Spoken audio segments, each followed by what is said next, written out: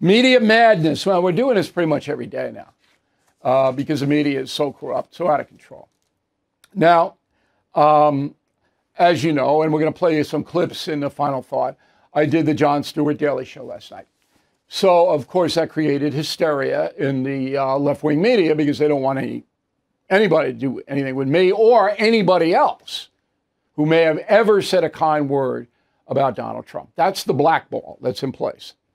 Now, NBC News did a fair review of my appearance with uh, Stewart. Here's what they said quote, decade after the two hosts last sparred on air, The Daily Show, Stewart and a former Fox News host, Bill O'Reilly, reunited Tuesday, continued the debate, though compared to the extremes of today, they were more friends than foe. Stewart and O'Reilly have a history of on air conflict, mirroring two opposite viewpoints, and O'Reilly, the conservative, foil to Stewart, and vice versa.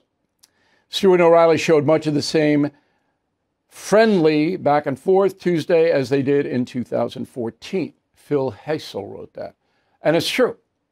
And it was a longer article, but I'm just telling you the tone of it wasn't O'Reilly's the devil, why is Stewart doing this, which was the tone in the far left hate brigades, gutter snipe alley where they live.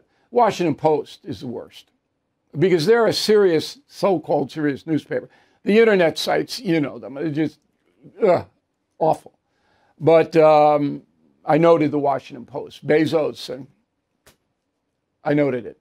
Thank you for watching. To view full episodes of the No Spin News anytime, sign up to become a BillO'Reilly.com premium or concierge member today.